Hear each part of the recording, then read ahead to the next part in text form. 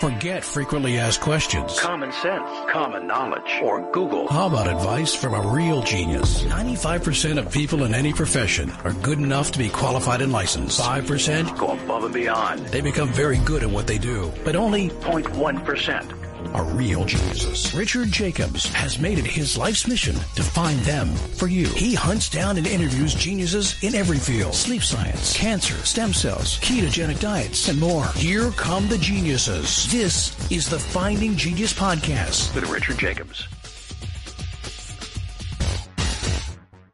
Quick note before we begin the Finding Genius Foundation, as part of the Finding Genius podcast, has recently completed a book about understanding viruses. So the creation of this book was to interview 100 virologists, ask them a lot of deep, difficult questions, take the most difficult questions, and then re-interview the top 25 or so and ask them the hardest questions I could think of. And we compiled that all into a book. So you'll see question and four or five experts answers. Question, four or five experts answers. There's about 30 questions in the book. I think it's a great read for the layperson and for the researcher. It talks about a lot of speculation in the world of viruses, such as are they alive or not? And why is it important? Uh, why do viruses go latent or hidden or ineffective or sit in a person or an animal or another creature for weeks, months, years? and then suddenly become virulent and affect that person. Uh, so there's a lot of really provocative questions in the book. It's now on Amazon. So if you go to Amazon and type in Finding Genius, you'll see the book on viruses. It's also on Kindle. The Audible version is in production and should be ready in approximately a month. But if you want to go and order it now, uh, you can do so again by going to Amazon or Kindle or go, go to findinggeniusfoundation.org and go to publications. There's an opportunity as well to get the transcripts of all the interviews and to hear the original interviews themselves. If we put them all together, the book would be about a thousand pages, but we condensed them down to make it juicy and concise and tight and very interesting. So I hope you'll check out the book. Uh, we're now working on one about cancer, but this is going to be our goal is uh, three times a year to come out with these masterclass books that I think will inspire new scientific research. And I hope you'll check it out. Thank you. Hello, this is Richard Jacobs with the Finding Genius podcast, now a part of the Finding Genius Foundation. I have a returning guest, Paul Davies. He's an author, a professor at Arizona State University. Uh, currently, he's over in Australia uh, doing some work there. Uh, Paul they, um, is not only a theoretical physicist and a cosmologist and an astrobiologist, he's also a best-selling science author. He's published 30 books and hundreds of research paper across various fields. But I'm having him back today because he's also uh, working on cancer and he has some very unique insights into it. So I wanted him to be a part of the cancer book as a co-contributor. So, Paul, thanks for coming. Oh, well, it's a pleasure to be back, Richard. Yeah. So if you would just tell me a little bit about your background, how you, you know, from working in physics, how did you start thinking about cancer and why are you aware of it and working on it as well? That's a very pertinent question. It does seem a bit bizarre, and people are always intrigued to know how does a theoretical physicist and cosmologist become involved in cancer research. And it all happened because out of the blue, about uh, 14 years ago, I think it was, Anna Barker, who at that time was the deputy director of the National Cancer Institute, just hit the telephone and she said, Well, you don't know me, but I know about your center, the Beyond Center for Fundamental Concepts in Science at Arizona State University and you are dedicated to rethinking the conceptual foundation of tough scientific problems. And cancer is a tough problem. We're spending $5 billion worth of taxpayer money each year, and progress is painfully slow. Can physicists help? And I said, Well, uh, I'm sure physicists can help, but I know nothing about. She said, Well, it doesn't matter. And then that began an incredible learning curve. So I helped uh, Dr. Barker set up a national program, uh, which became uh, known as Physical Science Oncology Centers. There were 11 of them around the country, and I ran the one at Arizona State University. And they were dedicated to basically uh, looking for new ways of thinking about cancer by bringing in physical scientists, not just physicists, but chemists, mathematicians, computer scientists, uh, just to see if we could make progress with cancer uh, by thinking about it in a different way. And I took that seriously. And so, in addition to running uh, this center, we had about 30 people in total. A lot of the research projects were fairly mainstream. But in addition to administering that, I developed my own theory of cancer in collaboration with a number of people around the world. And that Okay. remains my principal involvement today. All right. So you know, now for the uh, the questions. A lot of people seem to postulate that you know random mutation occurs in some of our cells, and that leads to you know other genes being turned on and off, and, and changes and uh, proliferation and cancer. What are your thoughts on how cancer starts? What are some of the different ways in which you postulated it starts? Well, I come at this from a very different point of view. See, I came in cold, and I thought, well, how do I think about this one? Cancer is immensely complex, isn't it? But the job of a cosmologist and generally a theoretical physicist is to uh, look through the complexity and try to boil things down to the deep uh, underlying principles. And it seemed to me that uh, cancer, on the one hand, it looks a very complicated sort of thing and every patient is different. On the other hand, it does look very systematic and highly organized. It's almost as if as cancer begins and develops, there's a sort of blueprint or plan of action that is followed by most cancers in most organs and in most organisms.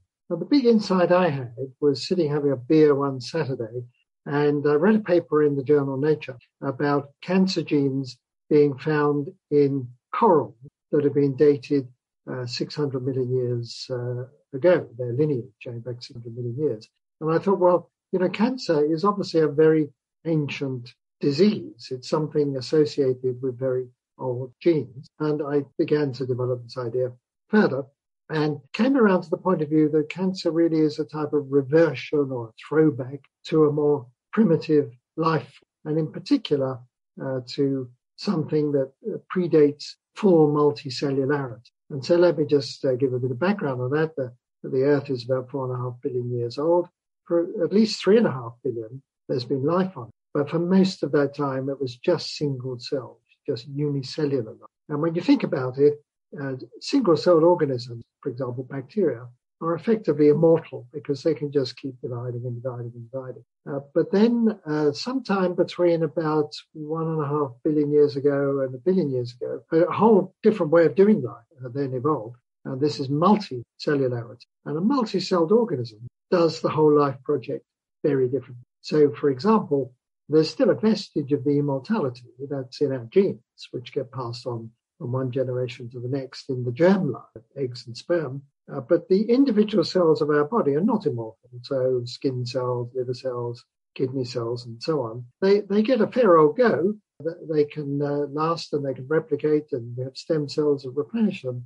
But sooner or later, they these cells have to die. It's a process called apoptosis. It's a self-inflicted. Uh, it's a sort of suicidal program, and um, that's the deal in multicellularity, a contract between the germline, which says we will bear the heavy lifting for immortality, and the somatic cells, the rest of the cells in your body, pay the price of apoptosis. And it's obviously a very successful way of doing life because there are many multi-celled organisms on the planet.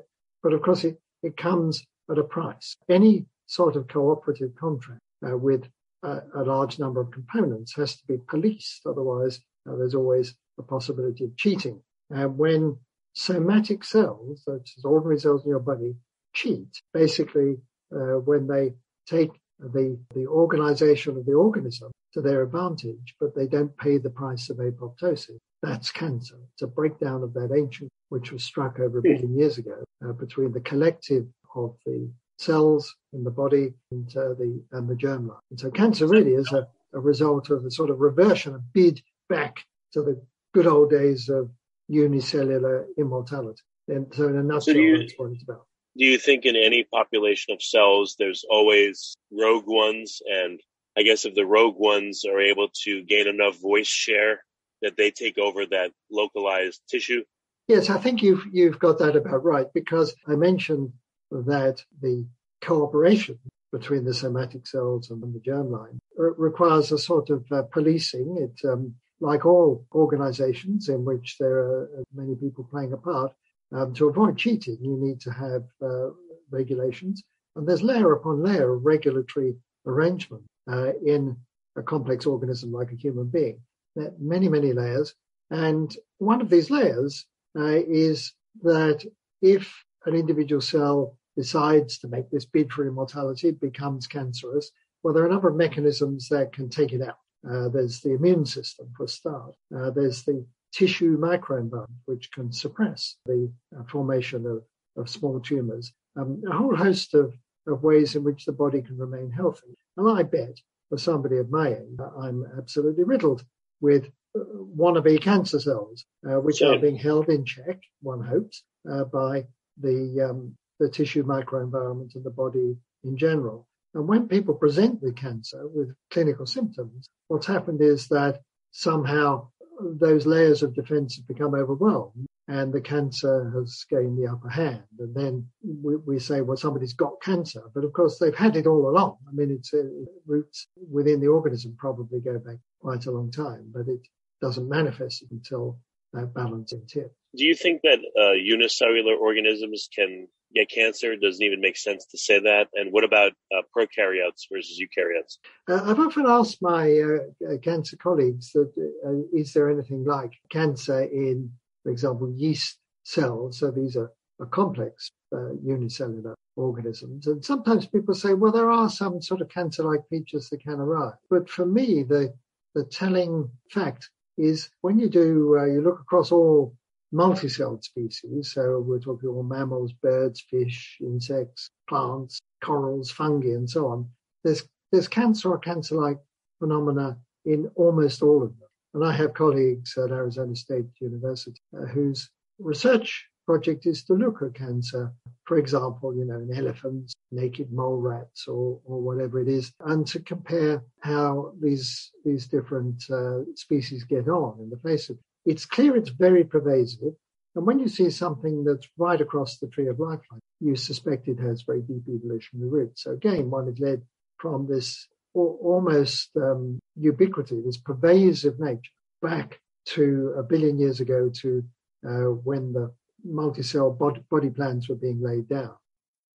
Before we continue, I've been personally funding the Finding Genius podcast for four and a half years now, which has led to 2,700 plus interviews of clinicians, researchers, scientists, CEOs, and other amazing people who are working to advance science and improve our lives and our world.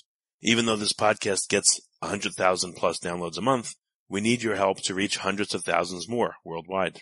Please visit findinggeniuspodcast.com and click on support us. We have three levels of membership from 10 to $49 a month, including perks such as the ability to see ahead in our interview calendar and ask questions of upcoming guests, transcripts of podcasts you're interested in, the ability to request specific topics or guests, and more. Visit findinggeniuspodcast.com and click support us today. Now back to the show.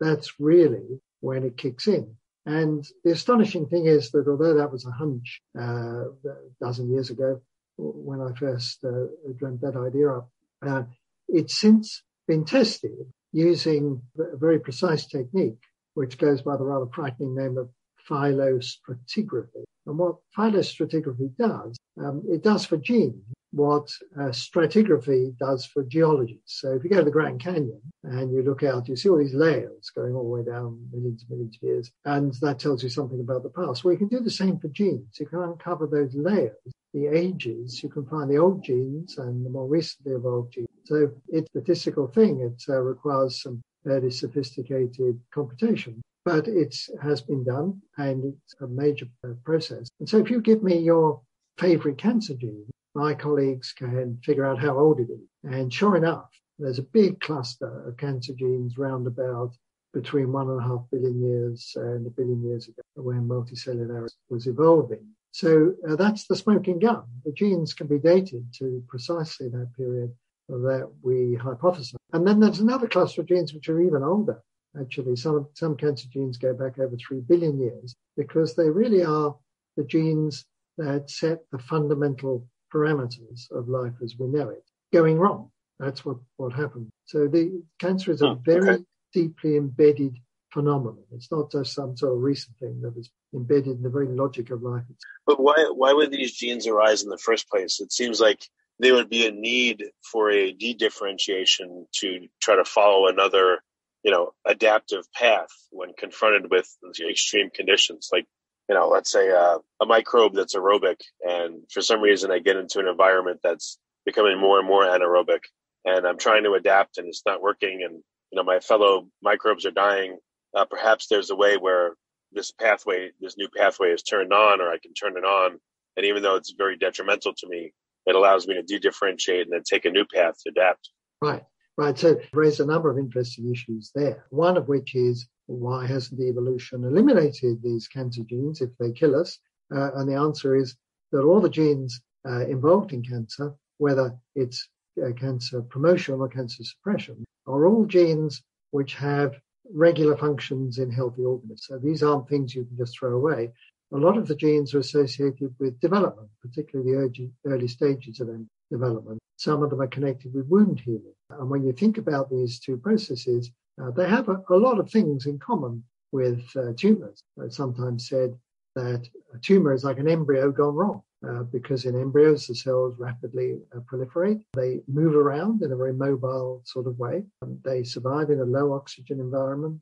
All things, all hallmarks of, of cancer. So uh, we're sort of stuck with cancer because we're stuck with the genes which are foundational, uh, not not uh, recently evolved ones, foundational, which simply can't be eliminated. So we think of cancer as being a little like running the clock backward, uh, but at high speed. You mentioned about cell differentiation, and that's true. So when we think of bacteria, they all the cells are alike, but take a multi-celled organism, you have different tissue types.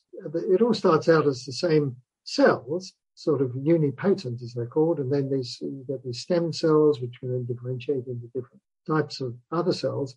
And cancer runs that backwards. It takes a cell which is uh, di- fully differentiated and it goes sort of back up to become more like a stem cell. And um, in terms of looking at the evolutionary history, that's going back to cells as they were uh, over a billion years ago.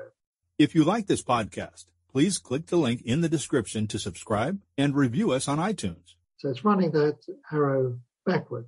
But you also raised another point, which is that, that life can retain buried within its genome uh, the ability to adapt to different circumstances. That is, it can t- it can remember uh, past challenges and turn on the necessary genetic equipment to deal with uh, whatever might be going on today.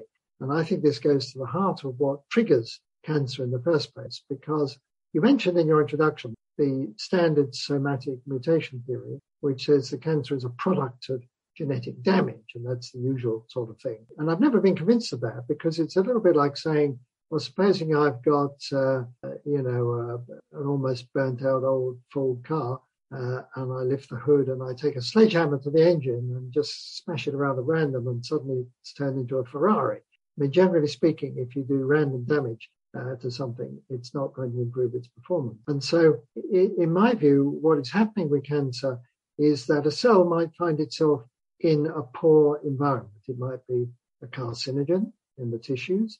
It might be low oxygen. Uh, it's a poor tissue environment with low oxygen and other chemicals that healthy cells need. Um, it's, uh, it could be electrical effects, it could be wounding effects, mechanical effects. There could be a number of things. And the cell would think to itself, aha, I've got a problem here, but I remember the solution. And part of that repertoire of activity is to revert to what it used to do. Right. And including in that reversion is turning up the rate of mutation because you're quite right that bacteria in a bad place can evolve solutions to that by turning up their own rate of mutation. They can tune them. Well, can you call it, are they, are they turning up their rate of mutation or they're turning up their adaptation ability? I mean, it's, a mutation sounds like it's really not as, you know, within the control or purview of bacteria or human cells or whatever it may be. But again, why would that machinery be there? And it must be being used by the cell in order to adapt because uh, so oh. far, I guess, there's been maladaptation. So I, I, think it would be a deliberate adaptation instead of a mutation. Well, yeah, you're you're right, of course, that there can be pathways which are simply uh, suppressed in normal circumstances. Genes, of course, people talk about them. Um, they're not just sitting there turned on. Genes are mostly turned off, uh, and they get turned on when appropriate. And so, developmental genes, for example, they do their bit in early stage embryogenesis then they get silenced. And if something affects them and they spring back into life, so to speak, then cancer results. So organisms retain within them the option of um, expressing certain pathways or suppressing those pathways. And sometimes these pathways are very ancient. And there's this term atavism. Atavisms are well known to biologists. This is where you suddenly get um, famous example is supernumerary numerary nipple. Uh, humans have two nipples, uh, but of course, many of our ancestors had more nipples, and sometimes uh, people are born with an additional nipple. Uh, there are examples of uh, human babies with tails because our ancestors used to have tails, and so on. And that's because the pathways of development uh, are still there, but they're normally suppressed. And then if something goes a bit wrong, they can be expert. And so that is an example of, um, you know, a latent ability to, to deal with a problem. And I already mentioned a similar one, which is wound healing, uh, that organisms have the ability to spring into action and uh, generate lots of cells, uh, patch, patch up the wound. And sometimes cancer is described as the wound that never heals. And so that's, again, expressing that latent ability. But I must just um, uh, complete this uh, by, by saying that there certainly are genes that allow tuning of the mutation. And bacteria do this and have done. It's a very ancient response to stress that if they're starving, for example, uh, they can uh, deliberately elevate their mutation rate to look for other things to metabolize. It's often called an SOS response. And what my co-workers at Arizona State University found is that uh, when you look at uh, the uh, genes in the human genome older than about a, a billion years, and you ask, well, what are they good for? One major class of those genes is they are homologs. That means they're, you know, just like the human equivalent of the SOS genes in bacteria. In other words, uh, when bacteria turn up their mutation rate to solve problems, uh, the same genes are present in human cells and they can be turned up uh, to solve problems as well. And that's what cancer does. It expresses these genes, it elevates its own mutation rate. So a lot of that high mutation, which is seen in cancer, is not due to the, the damaging environment, radiation or something. It's actually self-inflicted. And this is so, the cancer cells looking for a solution. Okay. So would you say that a cancer is an organism that is, you know, it's, it's looking out for its own interests. It's going for its own homeostatic equipoise. It's acquiring its own resources. It's, you know, I, I, if so, at what point, you know, is one cancer cell an organism? Is a hundred? Is a thousand? Is a million? Like, at what point do you think this uh, separate identity arises, and therefore the drive to preserve itself and to proliferate and everything? This is a really excellent question, which we zeroed in on uh, during the time it was a five-year period that I was running the oncology center, uh, and I had um, a, a, colleague who was a theoretical physicist, who Tim Newman, who was particularly interested in this because so he had the idea that a cluster of about 50 cells was about the maximum that you could have and remain in equilibrium. And that had something to do with just the geometry, the number of cells on the surface that could be uh, picked off by the, say, the immune system versus the proliferation rate. And one or two strands of evidence uh, led him to believe that that would be a typical cluster. And uh, he applied for a research grant uh, to see whether autopsies of road accident victims could be carried out to see whether their tissues had these sorts of microtumors lurking within them and stabilize. And uh, I'm afraid that work was never completed. It just didn't get funded, and uh, and so we're still very much in the dark. You see, the, the problem about cancer is, of course, people get sick, and that's they go to a, a doctor, and, and so they've got clinical symptoms. And so you're studying people for whom the cancer has already uh, gone beyond the tipping point. What we'd really like to do is understand what is cancer doing what are these microtumors doing in healthy individuals where it's being held in check. Very hard, mm. particularly if they're small. If, you know, if you've got a, a lump that you can feel, it's a different matter. But if you're talking about 50 cells, you can't just go around cutting people open uh, looking for these microtumors. But I sort of suspect this is a very important part of the story and a big gap in the yeah. story as we currently understand it. Well, I've spoken to researchers that said they'll take cancer cells from one mouse and put them into another. And I asked them how many are needed to successfully, you know, cancerize the new mouse. And they said, uh, I believe it was hundreds of thousands or millions. I don't know if they tried it with just one or two cells or a handful, but it does seem to say that it takes a lot of cells in order to, you know, to sicken someone and for a cancer to take hold?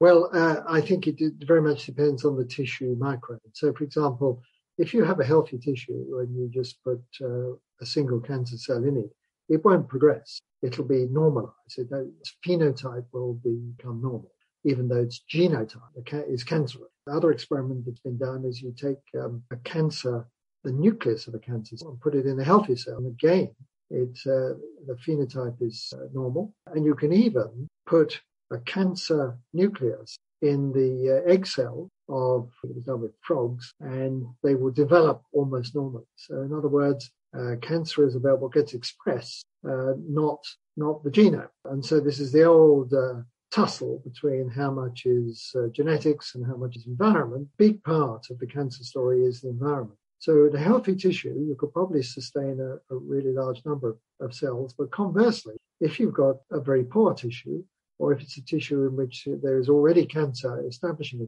uh, then even healthy cells tend to turn into cancer cells. In other words, it's sort of recruitment, and it depends on the level of the uh, how normal the tissues are, and there's probably going to be a spectrum. Uh, so you think they're they're hard and fast rule? Yeah, that is a question. So again, with kind of standard models, it begins with one cell, and that cell divides and divides and divides and constitutes the whole tumor. But since the since cells have these ancient genes that they can turn on, that would mean every cell has them, at least within a given tissue, because some of them will turn cancerous. So I would think it's a consistent, persistent stress, metabolic, I mean, you know, or otherwise that causes a group of cells again to adapt, adapt, adapt, and then they come to a dead end and they have to turn on this, this, uh, I guess, higher level pathway or more fundamental pathway. And now they're they're going through a maladaptation. It's maybe not intentional, maybe intentional, but that seems to be how cancer starts from what you're saying. But what do you think? Yes, you're, you're absolutely right. It's latent in every cell. Every cell is a, is is a wannabe uh, cancer because that's basically how life was done in the pre multicellular stage. It's it's cancer arises in almost every tissue. I mean, there are one or two strange exceptions. There's, I'm told, no known cancer of the eyelid, at least in humans, and no known cancer of the vas deferens. But pretty much every other organ that can give rise to cancer. One, one of the big unknowns is why some organs are more susceptible than others. There's some sort of obvious answers, yeah. Like the gut, for example, is getting damaged all the time by the stuff going through. And so it's no surprise that colon can uh, occur. Right, but cancers have a tropism, it seems like, for metastases. Why do you think that is? Yes, so this intrigued me greatly because when we embarked on this these uh, centers for physical oncology, the challenge as it was expressed to us by Dr. Barker is that when you look at the statistics, primary tumors are responsible only for a small number of deaths. Now, almost all cancer fatality is caused by metastasis. The cells outgrow their organ of origin, they spread around the body, they colonize remote, remote organs. And at that stage, the outlook is not very good. And so if there was some way of saying, okay, well, we'll live with primary tumors because you can always cut them out. But if we could just stop or slow the metastatic process, we'd be on to a winner. And so there was a lot of thought given to could you change the physical properties of the vasculature, for example, to stymie the journey that these cells embark on? And it is an extraordinary story. I must admit, I um, I came at this thinking, well, cancer is just a nasty thing we want to get rid of, and I just became amazed because these cells will they seem to know what they're doing. They leave the primary tumor sometimes uh, in in a, a group. I mean, they'll sort of march off together, they have to work their way into the bloodstream. Some of them spread through the lymph system, but mostly through the, the bloodstream, which is a horrendous thing. They've got to sort of batter their way through, and then they're in this raging torrent being swept around the body. And then they've got to get out again. And they have uh, little hooks uh, on their surfaces. And we spend a lot of time studying the, the physics of the hooks. And they cling on to the sides of the, by this stage, with the capillaries. And then they have to batter their way through into the tissues beyond. And even when they get there, that's hostile territory. They've got to sort of set up home in a place where they don't belong and have to switch off or ignore all of the signals from the surrounding tissue that tells them to go away or to, to die. Really complex, hazardous, multi-stage process. And I, the very first question I asked is, do they know where they're going? Uh, they, this seems like a highly organized, pre-programmed response. Uh, is there a, you know, a tissue, a destination tissue? And it's true. that certain cancers, like prostate cancer, likes to metastasize to the brain, for example. And uh, sometimes it looks like, oh, these are just organs that are downstream of the primary tumor, but sometimes it, it seems like they really have got uh, a preferred organ that they want to set up home in. And there's a very ancient idea called the seed, seed and soil hypothesis. Uh, it goes back over 100 years. Uh, the idea being that uh, the metastatic cells uh, take root in uh, what is uh, re- regarded as the appropriate soil for them. And there was even some evidence that somehow the primary tumor prepares the ground ahead of time. All sorts of chemical signals going back and forth around the body. It all looks very systematic. When I learned about all this, I thought, well, this this is like uh, pre-programmed. This isn't just sort of random activity, organized activity. And the cancer is not just a lot of things gone wrong. It's a, a very carefully worked out and very ancient plan of action when cells feel that they're stressed, they're in a bad place and need to do something. So that was my take on it, and it remains that way. Has anyone, to your knowledge, uh, looked 3D spatially at a tumor and mapped the heterogeneity, you know, again, spatially, radially outwards from the center, and seen if you can then recapitulate the, the development of a tumor and what, what mutations come from which? Uh, well, it's interesting you should ask that question because Robert Austin at Princeton University, who was my counterpart there at the Physical Science and uh, Oncology Center, uh, applied for a research grant to, to do exactly that. He wanted to do, um, just like we were talking about the Grand Canyon, uh, geologists will drill a core down into the rock and then they get the rock strata and they sort of see how things have changed over time. He wanted to basically drill into a, a tumor and do the equivalent sectioning, see how it's all put together. That, uh, that also didn't get funded. At that time, people were less aware of this thing called phylostratigraphy, uh, but it would uh, certainly be a very good idea to ask whether the cells, the center of a tumor, have are expressing genes of a different age than those on, on the periphery. These are all the sorts of things that we like to think about because with this tool of phylostratigraphy, you, you can ask uh, all the time, well, you, you, have this or that property. Can, cancer, I should mention, uh, you think, well, how do you, how do you define it? There are about a dozen so-called hallmarks. Uh, and we've mentioned a few. One of these is uh, the uh, rapid proliferation of cells. The other is spreading around the body. The other is turning off apoptosis and so on. And you can enumerate these. And then you can look at how old are the genes that control those various hallmarks. And uh, in the hypothesis we've developed, which is cancer as a sort of throwback, uh, we think it's more than just, you know, one great leap.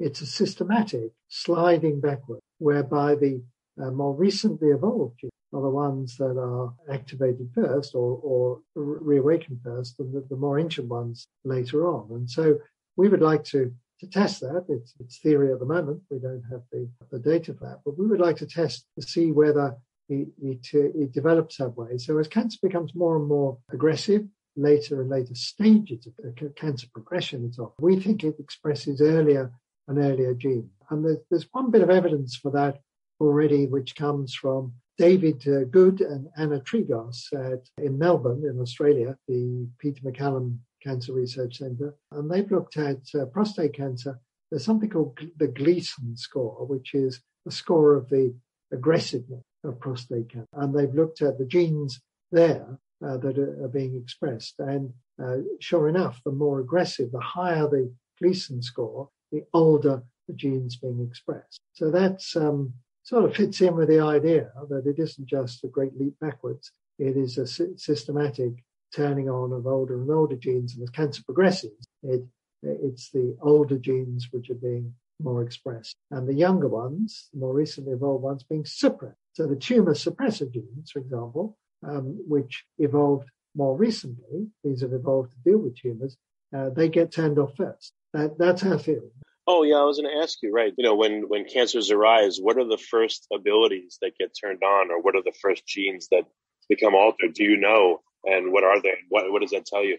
Uh, well, my guess, I don't know the exact on that, but my guess is it's this um, uncontrolled proliferation is really where it all starts. But I think we're back with this problem that you only notice the cancers when they start presenting clinical symptoms, and then you're going to try to sort of retrodict, you know, what was it doing last year or three years ago or something like that. So it's it's possible uh, that there are a, a, sequence of precursory changes. There, there are one or two cancers where you can get a handle on that. For example, cancer of the esophagus uh, is um, it's a very nasty cancer, but it's often preceded by a condition known as Barrett's esophagus. We had a research program on it at ASU, and um, so what you see is that, as you, you may be aware, these conditions arise because of acid reflux. It's a very common condition. And ever get this, you, you, get this sort of burning feeling in your esophagus because acid fluid's coming up from the stomach. And that wounds the cells at the base of the esophagus. And after a while, if people suffer from this, those cells begin to undergo changes that are quite visible in a microscope. And in a small fraction of people who uh, suffer from Barrett's esophagus, they, they become cancerous. So it's almost as if there's a sort of sequence of, uh, of damage of changes in structure. And so you can sort of study that. But but mostly, particularly, that's because you can study because it's on the surface of a tube, the esophagus. But for cancers that are buried uh, deep in tissue, it's really very hard to know. But we will predict, according to the ages of the genes, when you look at the hallmarks, figure out the ages of the genes that represent them. And our hypothesis that the younger ones, the more recently evolved ones, are the ones that are manifested first in cancer progression. That has yet to be tested. We have suggested ways in which we might be able to test them. So again, going back to looking at a tumor 3D spatially and looking at the heterogeneity, I would think that if you can't trace back all the mutations and, and, and everything back to like an original set or a very few ones that started, that would tell you that in general, it's, it's some kind of stress, metabolic stress, whatever it is that's causing these cells to revert to old gene pathways, but maybe it wouldn't tell you that. I don't know. Like what, like what would it tell you if you, again, if you did a 3D model and you did see that everything had a common origin versus you didn't see that. You saw many, many different, you know, cells that were so different they could not have come from one cell. Well, so what you're suggesting is that you might have uh, a tissue which has tumors, but of multiple origin. In other right, words, it, right. it's uh, the tissue environment is a bad one, and all over the place, uh, there are uh, cells which are turning into cancer in response to that. And then it all joins in a sort of uh, horrible mess and difficult untangle. Uh, th- this seems entirely plausible because cancer is so common that it would be foolish to suppose that if you've got a, an organ in which cancer develops, so the, the obviously would be foolish to suppose this couldn't happen more than once. If the conditions are right for cancer, you would expect uh, that there would be be many. And I don't know of any studies in which anyone has attempted to untangle whether, I mean, you can certainly determine a tissue of origin, but whether you can determine a position within that tissue or whether you're dealing with a, you know, a clonal population that they're always the same clone or whether you've got intermingled clones. It's a very good question. And somebody may know the answer to that, but I'm afraid it's. I guess it's, you know, it's not at all clear. That's, that's part of the problem. So also too there's the issue of again what what percentage of cells in a tissue that are cancerous have become cancerous because they've been co-opted just like you know the seed and soil right. hypothesis says with metastases versus arising i guess de novo from tissue or microenvironment conditions can that be characterized as well it certainly is the case that healthy cells get recruited or co-opted uh, the uh, particularly striking example what are called tumor associated macrophage, TAM. Uh, and these are cells that are part of the immune response and would normally be going in to solve the problem. And they get sort of um, co- converted, co opted by the cancer and turn into part of the problem instead of part of the solution. One of the things, uh, hallmarks of cancer is they can screen out the immune system. And, uh, and they do this with a variety of tricks, including basically um, turning the loyalty of a lot of the cells that are involved in, in attacking the cancer it becomes part of their defense mechanism. If, if someone gets chemo um, and a tumor retreats and then it, it builds back up again, do you think that previously healthy cells have turned cancerous and that's the predominant source of the new tumor material? Or do you think it's existing cancer cells that survived then now again we're forced into yet another deeper regime of, of maladaptation. And those are the you know, what the cancer is now comprised of when it comes back? It, it's clearly both.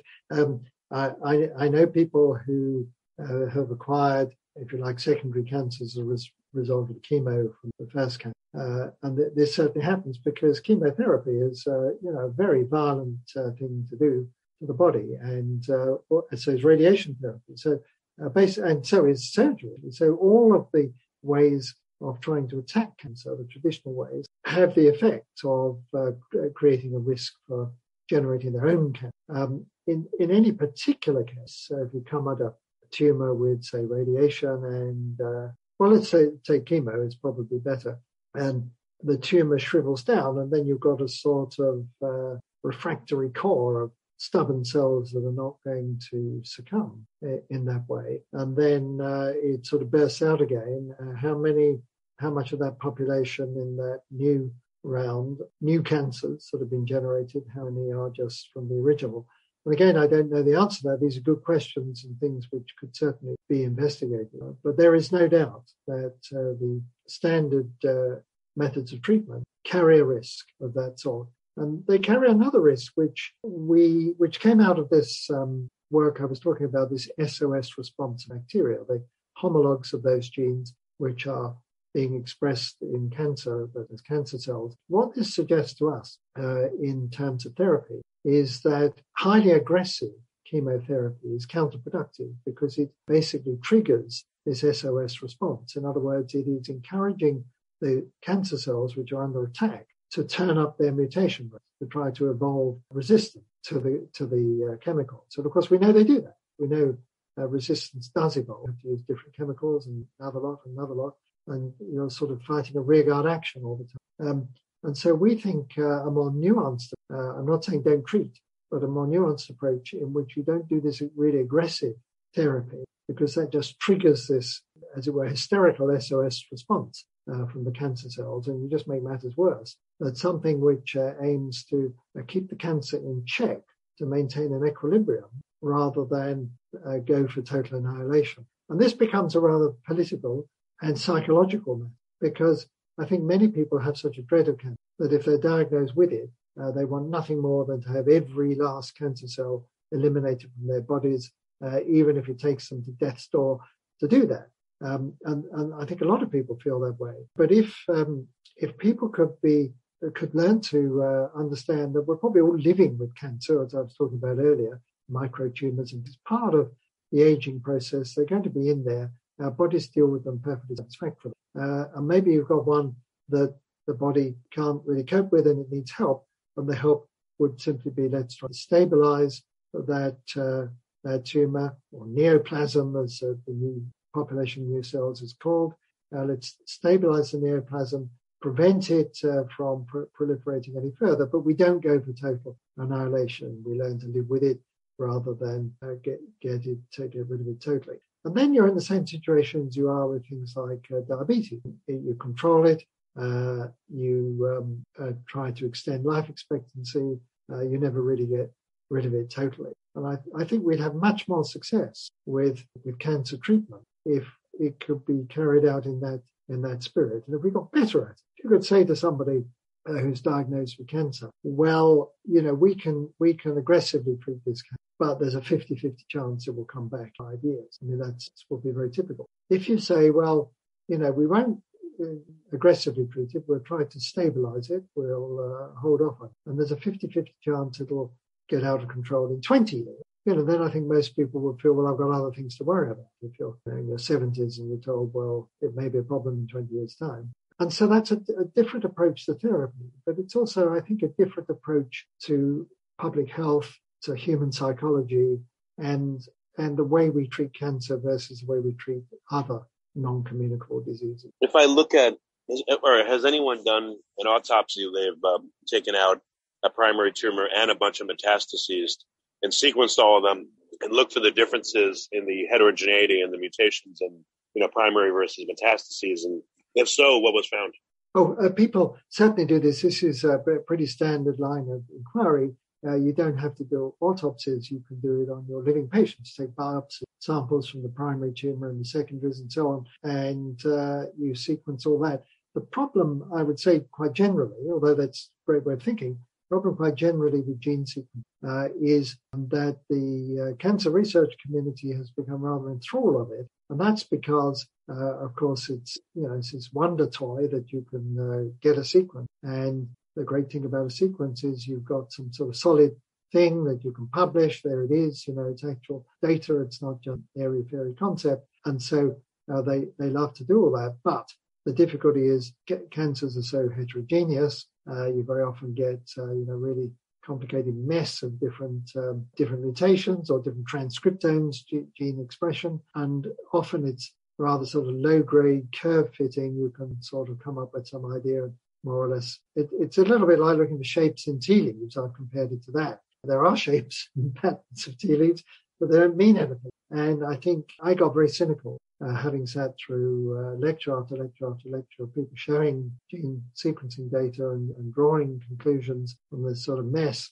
and thinking, well, it's a bottomless pit of, and you could go on sequencing forever and never really get down to the root cause of this. And that's why I wanted to develop a simpler understanding of, of cancer initiation progression based not on, you know, any individual case with uh, all of this complexity, but based on a sort of systematic way in which certain genes uh, are expressed and others are switched off. Very much my approach. Well, here's yeah. the reason I ask is that I guess metastases are not composed of the tissue in which they reside. They're composed of the primary tumor tissue, right? So if I have liver cancer and a spot appears in my lung, it's going to be liver cancer cells there, not lung yes. cancer cells. Is that right? That's correct. That's correct. Yes. Okay. So I would expect now then there's not going to be co-option of the liver cells. I mean, sorry, there's not going to be co-option of the, you know, the lung cells now that the liver, the liver cancer cells have lodged themselves there. So growth only comes from meiosis, you know, from the splitting and dividing of the existing cancer cells that are there and not from, again, co-option of the adjacent tissue. And I would also suspect too, like the microenvironment is very different now. There may be a localized microbiome that's very different that, you know, has different metabolites that it would trade with those cancer cells the immunity component I would think would be heightened because now, again, the, the, the metastatic cells are in a very foreign environment. They're in a different tissue type, cell type. So I would think that the strategies employed would be very different and that would force a different but maybe discernible set of mutations that don't occur in primary because of right, this is a, yes, yeah. The, you're raising a really excellent question, which is um, the natural history, so to speak, of a primary tumor and the metastatic tumor tissue should be quite different. I can imagine still things like the tumor associated macrophages, which move around the body, uh, that that story might be very much the same. But uh, you're quite right. I would not expect a, a liver cancer cell lodged in the lung to be co-opting a neighboring lung cell. I would expect it to be turning off all sorts of signals from that lung microenvironment, which uh, basically um, would, uh, if you put a healthy liver cell in the lung, it uh, doesn't do very well and it uh, gets signals, chemical signals telling it to undergo apoptosis. Um, all that gets turned off. But I would, you're quite right that if it's basically uh, following a, a pre-programmed response, if it's in this foreign tissue, it may well express the hallmarks of cancer in a different sequence from the primary. And that's not something that that we have particularly looked at, but it seems like a very good suggestion that that comparison. Does anyone know if certain metastases arrive first and then others and then others? Is there any sense of hierarchy or even between primary and metastases? Is there a hierarchy where the primary is like the brain and the metastases, you know, communicate with the brain and follow its wishes? Well, I've seen people speculating uh, on that basis that there's a sort of an, a communication network uh, going going on around the body between the primary tumor and the metastatic tumors. And I've even uh, one of the uh, groups in these physical science oncology centers even suggested that maybe we have it all back to front and that the metastatic story comes first and, and there's a sort of clustering into what you interpret to be the primary tumor. It's a bit of an extreme example. But um, during a lecture in which it was claimed that there is this sort of uh, systemic organization and control, I suggested that what we needed uh, was the equivalent of the electromagnetic pulse in nuclear warfare. You know, you detonate a hydrogen bomb and it knocks out all of the electronics. And what we would really like is to, you know, detonate something that would knock out that communication network around the body. If we knew what it was, of course we don't. Uh, it's going to be chemical signaling of some sort, almost certainly, rather than uh, electrical. But, um, but we don't we don't know enough about it. But everything I learn about cancer suggests to me uh, that it is not just some sort of haphazard thing, that it really is systematic and organized. And when you're dealing with an organized enemy, I suppose we should say that, something like uh, attacking the command and control structure seems like a, a, very good strategy. And then you might find that the different components sort of naturally wither away. And so these were all the types of thinking that uh, the physical scientists were bringing to bear uh, in this uh, research program. I think it's a, a, really very enlightened approach to bring in scientists from other disciplines who think about problems in a totally different way. Yeah, no, I agree. Have surgeons try to resect just the primary tumor and left metastases alone, either by choice or by necessity? And, you know, what does that look like going forward? Like, um, I guess, I don't know if there's been a case where a person has not been treated with chemo, but just surgery. And again, they've removed the primary, but left metastases. And you know, what happens to that person? Do the metastases now all of a sudden go into hyperdrive because they've lost the communication signal and they, they proliferate do. in an even crazier way, or what happens? Yeah, no, they do. There certainly are uh, documented cases uh, where you get a sort of metastatic explosion. You think, well, you would be better off leaving the primary tumor in check because somehow, you know, there was a, a system in place, and if we can have another one of these military analogies. It's almost like, um, well, you know, the uh, mission control or the command and control center had uh, sent all these uh, special forces out into the field, and then suddenly, you know, it all went quiet from mission control, and so the special forces thought, well, we're just sort of taking on ourselves, and we'll, you know, fight like hell where we are. It's it's almost as if that uh, sort of thing is happening. Of course, you have to be very careful not to anthropomorphize this too much. Almost as is almost as if cancer has a life of its own and a mind of its own. And it does seem, in some cases, to be sort of uncanny, uh, particularly the way in which it outwits the best efforts that physicians uh, deploy in order to concentrate it. Um, it. it. looks like you are dealing with a, a, very wily enemy, but of course, I don't think it. Uh, we should go too far uh, with that metaphor because uh, we are just dealing with populations of cooperating cells. I, I, really appreciate you coming and giving this very, very different perspective. What's the best way for people to find out more about your work? Where can they go? Well, now that's interesting because there's quite a long publication list. And uh, probably the best thing is not the Beyond Center website, but there's a, another website specifically for this cancer research, and it's called, I can just give you the web address. It's uh, cancer, it's all lowercase cancer, then a dash insights, that's I-N-I-G-H-T-S, cancer uh, dash insights, uh, at asu.edu. And a lot of um, what is on that website that is sort of current has to do with um, cancer across species and different things of that sort. But it's a, a record of all these earlier things that we've been talking about should be there as well. So that's a good place to start. Um, okay. There's, there's also a section in my book, uh, the, the Demon in the Machine, on on cancer. How does that fit the story? Uh, oh, excellent. Okay. Excellent. Well, Paul, thanks for coming back. It's it's uh, twice now. Great to talk to you both times. So thank you very well, much. Well, it's a pleasure to talk to you, uh, Richard, and uh, thank you for your interest in this. If you like this podcast, please click the link in the description to subscribe and review us on iTunes. You've been listening to the Finding Genius podcast with Richard Jacobs. If you like what you hear, be sure to review and subscribe to the Finding Genius podcast on iTunes or wherever you listen to podcasts. And want to be smarter than everybody else? Become a premium member at findinggeniuspodcast.com. This podcast is for information only. No advice of any kind is being given. Any action you take or don't take as a result of listening is your sole responsibility. Consult professionals when advice is needed.